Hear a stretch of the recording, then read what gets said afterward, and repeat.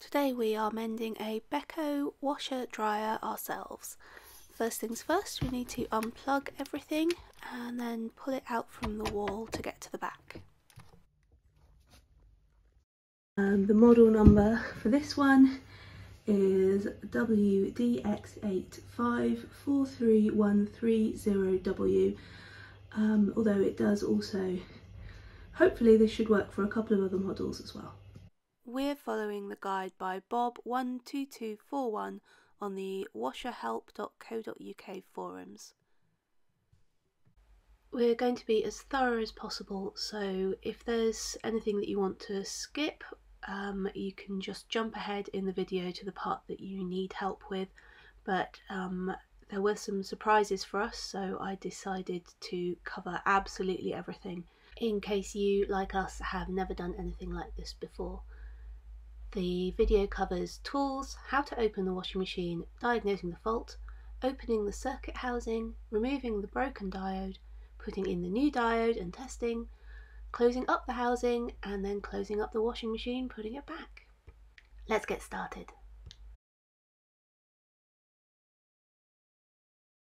The tools you're going to need to diagnose and resolve this problem are a multimeter, a D7 diode, a soldering iron, solder, something to remove the solder with, so ideally a solder sucker, and some tools to help you hold things in place. Cutters for the arms of the diode once you want to remove them, some pliers, and a screwdriver for getting in and out of the washing machine. We have ordered some D7 diodes from the internet which we hope will fix the problem. We got ours from WebbyJ123 on eBay as he was in Croydon, which is near where we live. The only other supplier I found was quinspares.com in Ireland.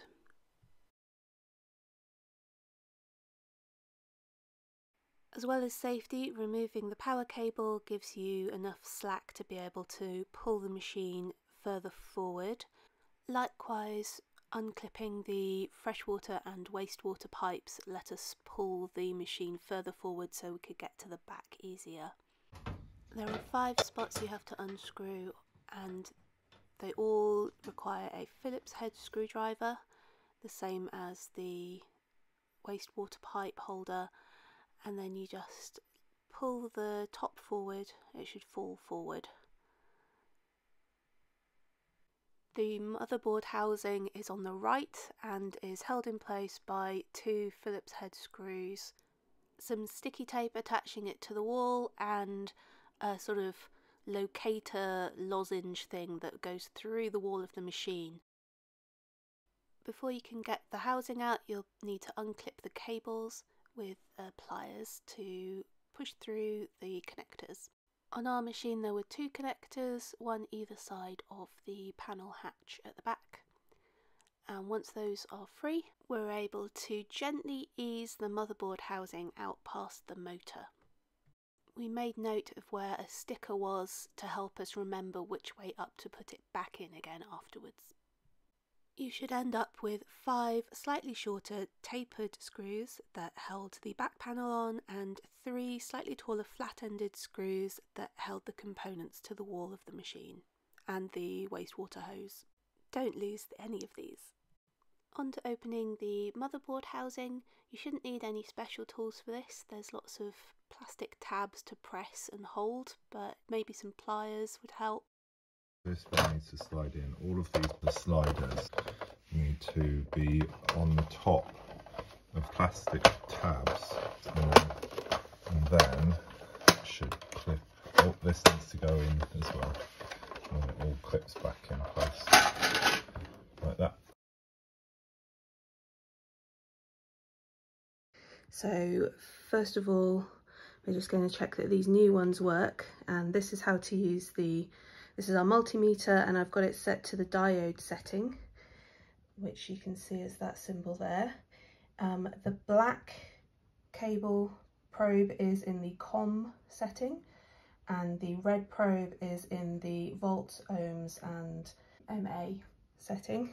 So on, on these um, diodes, there is a silver band which you can just about see there and that is the positive side that is the cathode.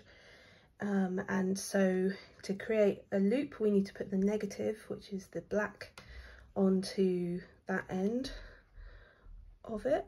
Um, and these two aren't connected they're just stuck with sticky tape which doesn't um, doesn't cause a circuit. So uh, if we test these you can see that this the, the uh, meter jumps up to 365 um, which shows that this is working. And if we swap them over and test the back of it so this is red to red black to black um, it just says one which also shows that that is correct um, that the machine's working. And we'll do that on this one as well and then swap them back. So black to red red to black and it's jumped up to 365 363 we're now going to use our multimeter to diagnose the problem, make sure it is the same situation as the one described on the Washer Help forum. Um, so the D7 diode is, you can see just here, um, it is marked out um, just here, this is where the D7 and the silver side is over here and the unmarked side here. So using the same machine as we used a minute ago, we'll now try and test if this one is working. Um, and so that noise isn't good. So that's so what we should have had if it was working was something in the 6500 range. And just to test it the other way around, we've got so on the working ones we've got the number one. Um, and on this one we have again the screaming noise. So it does seem like that is a short circuit.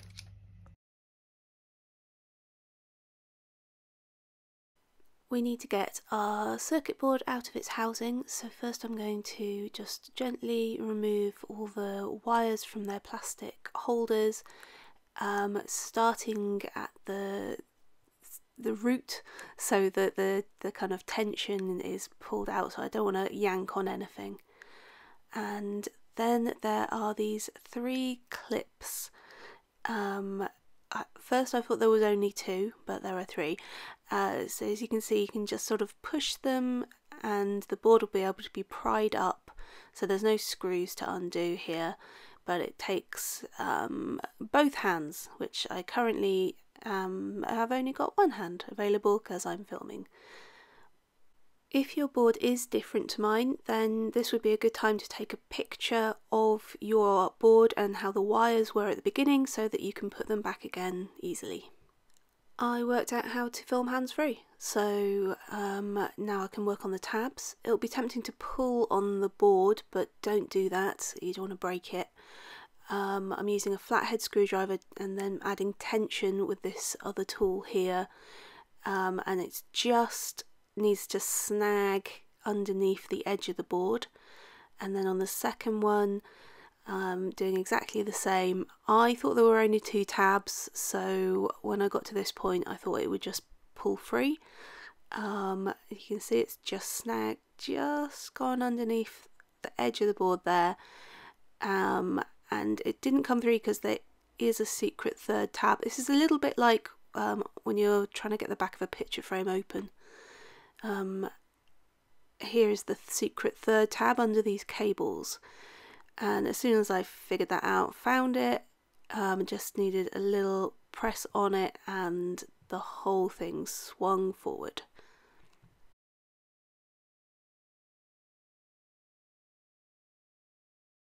So now our circuit board is free of its housing and we can see which part of the circuit on the back here where the D7 is actually soldered to the connections in the board.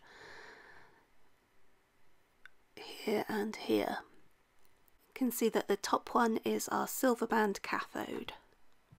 We're now going to remove this diode so it's time to get our toolkit out um, you need your soldering iron and snips and um, if you've got the solder sucker then get that I, however, do not have a lot of these things.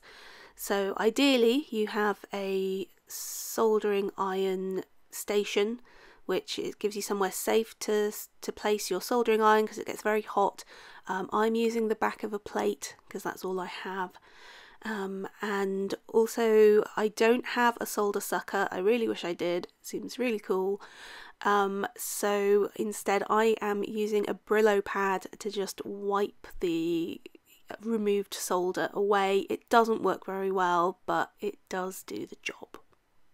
I tested out using some kitchen roll to see if I could absorb the solder away, um, but that just started burning the paper. Not not a good idea. Don't do that. Um, and you'll see my slightly disgusting looking piece of kitchen roll in the background, um, just so you know what that is, mostly because it looks super gross. So if you can get a full kit, I would recommend that. Um, I mean, because just look how happy and serene these guys are um, as they're not setting fire to anything in their kitchen. I've marked a little plus and minus on the board. This will help me put the diode back in the correct way round, the new one. I'm just gripping the old diode with some needle nose pliers so I can put some tension on there with um, pushing against the board with my finger to kind of leverage it up so as the solder is melted by the soldering iron, the actual leg of the diode um, is being pulled up, so it's kind of getting pulled out of the, the glue as the glue is being melted. You need to be careful not to put too much heat into the circuit board because that can, can the heat can conduct through and uh, and wreck your board. So I'm trying to be quite circumspect. Um, I'm also wiping away any excess solder that gets stuck on the iron as I'm melting it. This took a bit of time, so I'm just going to jump ahead to when it actually released from the board, which was quite a triumphant moment.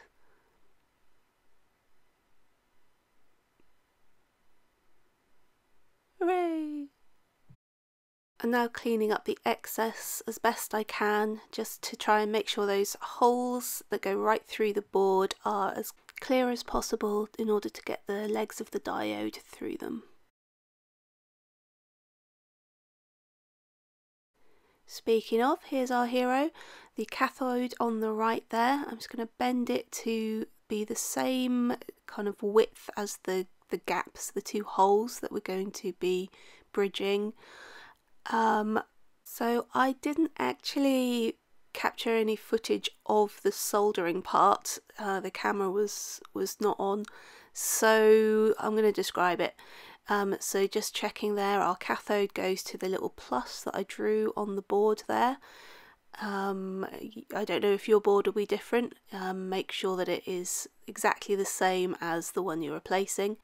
Look at all the solders on the back here. They're kind of flat on the board and then it's as if the leg of the piece has pushed up through a pool. That's what you're looking for. You don't want like a bobble or a kind of rounded blob. It's got to be a meniscus in order to be a proper join. So now it's soldered in and um, we left the legs long to help with the soldering and now just clipping those off to about the same height as all of the others I'm just using the cutter inside my pliers.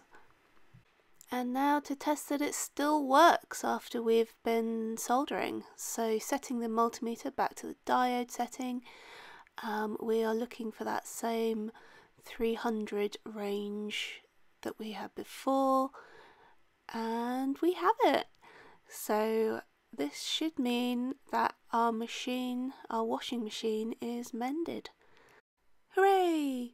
Time to switch it on and test it.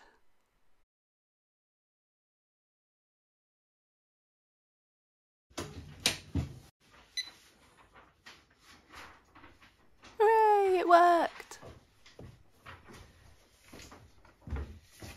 Last step is to put everything back together again.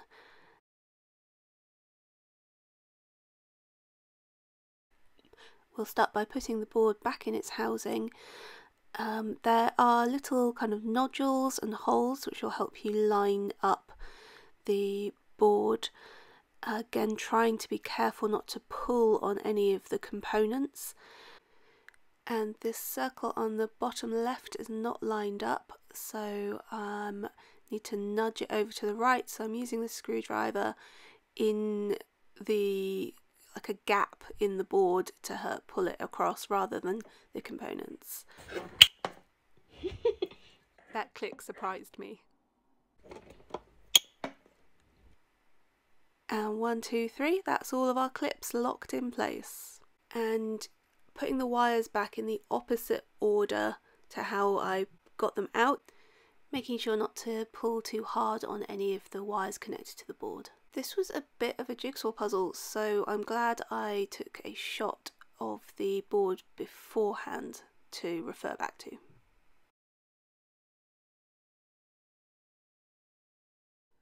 For this step you need to find the five little pointy screws and three taller flat screws that you saved earlier when you opened the machine, a Phillips head screwdriver that fits into those, and your pliers. Finally, let's get this board back into the washing machine and everything sealed back up. This clips in here. This should clip in. This one needs to slide in. All of these plastic tabs need to be on the top of the sliders and, and then should clip. Oh, this needs to go in as well and it all clips back in place like that.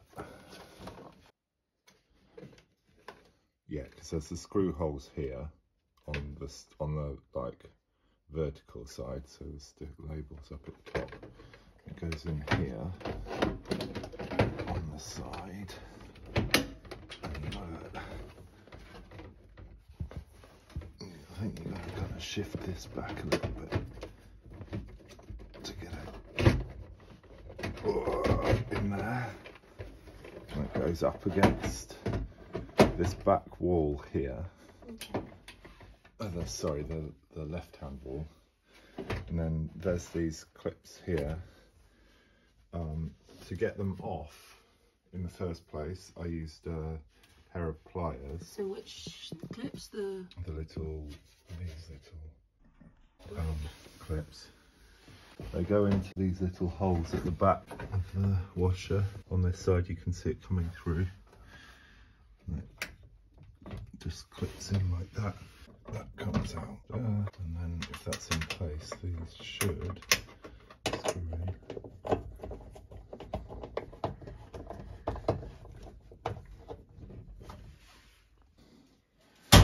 And then there's just the screws, these little little ones.